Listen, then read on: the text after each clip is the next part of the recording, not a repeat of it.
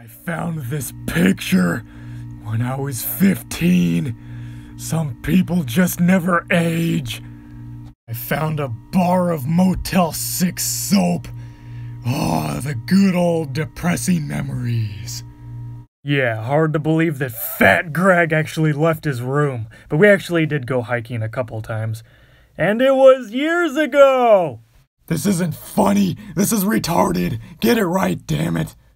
First off, it wasn't real. Secondly, it wasn't mine. And last but not least, who the hell is Cynic? yo, yo, yo.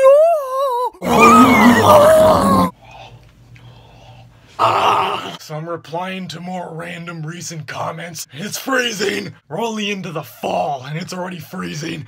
I'm pretty sure it's gonna snow this winter. It's never snowed in the desert, but this is gonna be the first time in over 20 years that it's gonna snow. I guess since I don't have anything better to do, I'll show you my little knife collection. There's the police edition. Ninja black. There's another black one. With a gold gold blade. Another one that is all gold.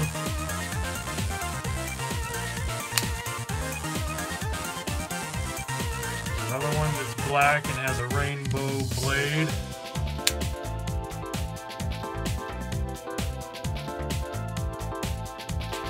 Blue. It has this flame design to it.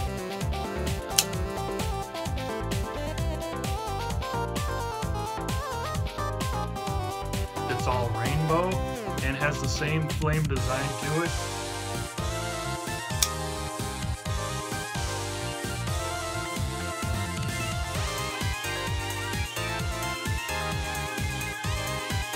They market these as heavy-duty belt buckles in smoke shops. But they can legally be allowed to sell these, but these are really metal knuckles. Yeah, you ain't fooling anyone.